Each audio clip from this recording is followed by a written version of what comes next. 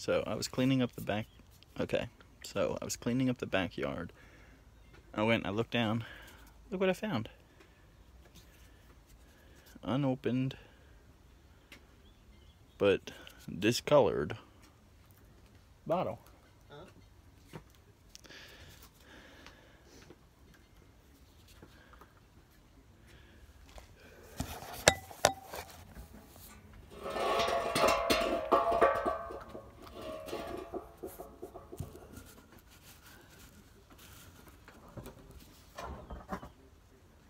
Still smells like it. Wonder if it tastes like it. Let's find out.